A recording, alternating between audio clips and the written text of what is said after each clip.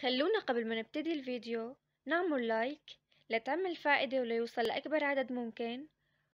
يوضح الشكل الثلاثي قلم رصاص سنقوم برسم أجزائه باستخدام برنامج SolidWorks.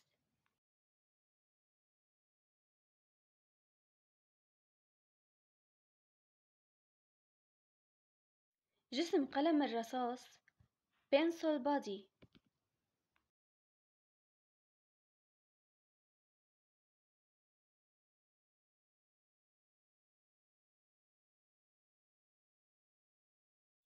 نقوم برسم بروفايل جسم قلم الرصاص الخشبي. نرسم مثلث منقط محاط بأقواس متساوية القيمة ودائرية مركزية.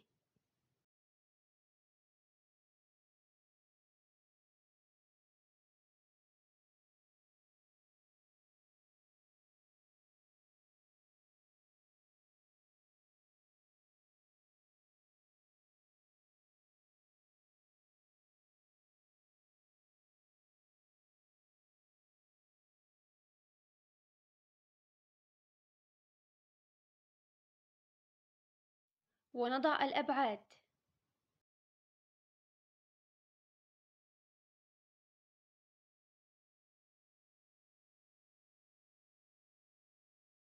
نختار تعليمة إكسترويد باس ونضع المسافة 120 ملم نكسر حواف الجسم بأقواس R واحد ملم بواسطة تعليمة فيليت.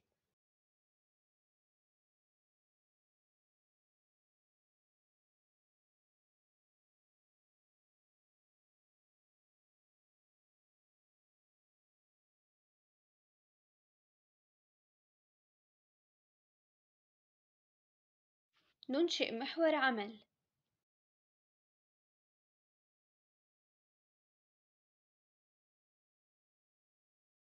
نختار المستوي Right Plane Sketch.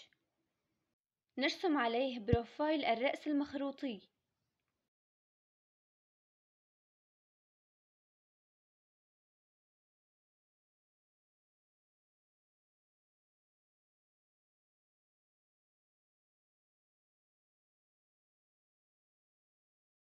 نضع الأبعاد صفر فاصلة خمسة وسبعين ملم اثناش فاصلة خمسة درجة.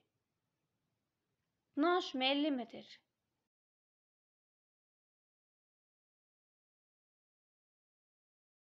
نقيد الشكل. نختار تعليمة Revolve Cut حول محور العمل Axial.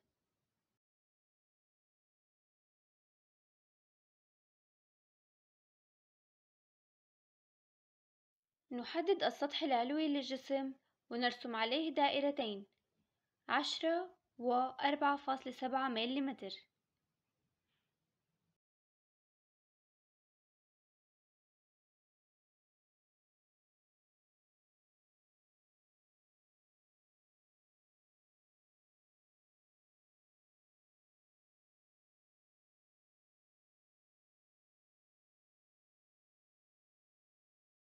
نختار تعليمة Extrude Cut ونضع مسافة سبعة فاصلة خمسة ملم يمكن أن نختار مظهر الجسم خشبي.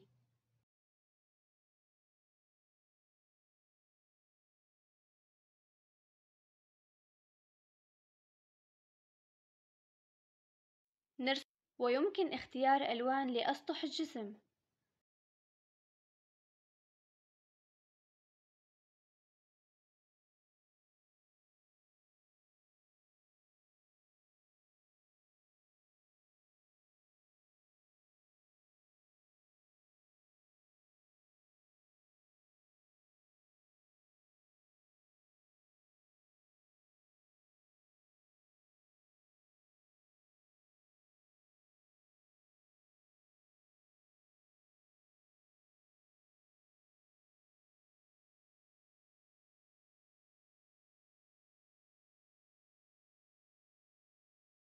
وبذلك نكون قد حصلنا على جسم قلم الرصاص.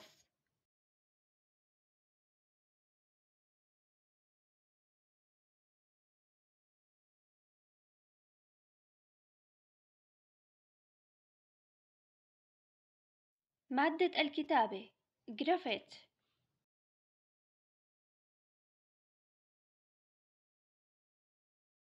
تكون مادة الكتابة على شكل اسطوانة برأس مخروطي. نرسم البروفايل.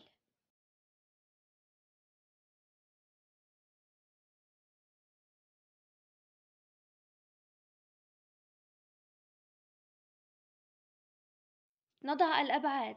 الزاوية 12.5 درجة طول الخط 120 ملم نصف القطر 0.75 ملم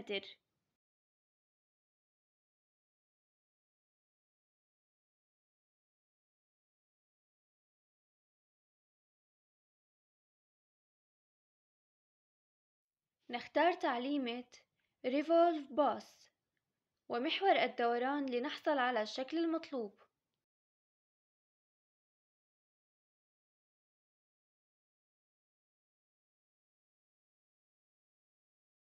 ونختار اللون المناسب.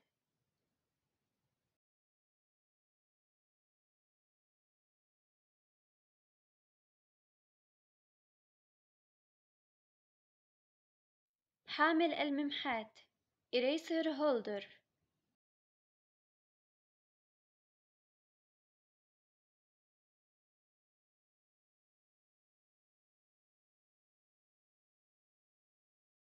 نبدأ برسم بروفايل حامل الممحات. نرسم دائرتين خمسة فاصلة واحد وأربعة فاصلة سبعة مليمتر.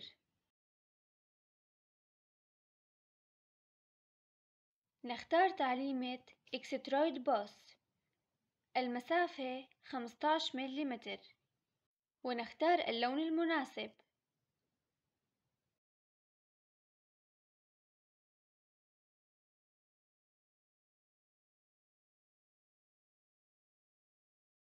الممحات eraser.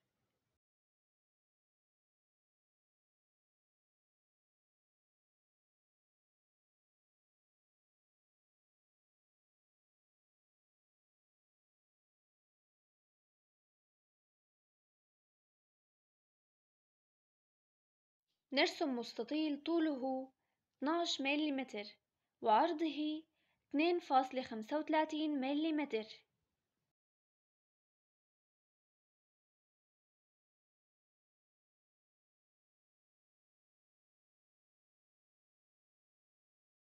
نكسر الزاوية بقوس R صفر فاصلة ثلاثة ملم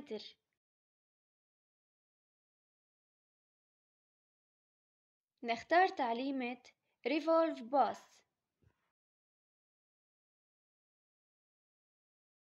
ونختار اللون المناسب.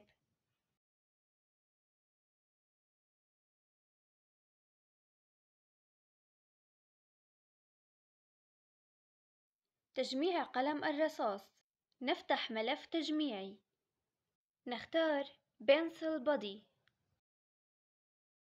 نختار Insert Components لاستيراد المكونات إلى الملف التجميعي.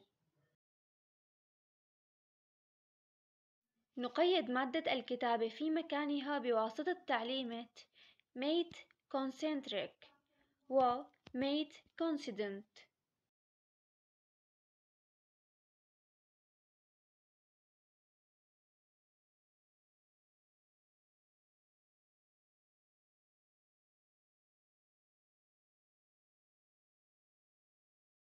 نقيد حامل الممحات في مكانه بنفس الطريقة.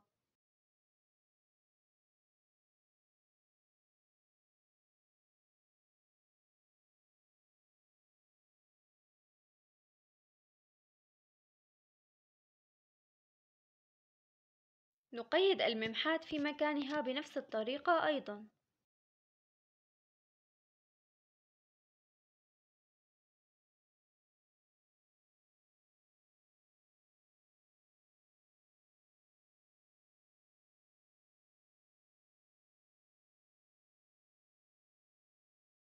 نتمنى أن يكون الفيديو قد حقق الفائدة المطلوبة.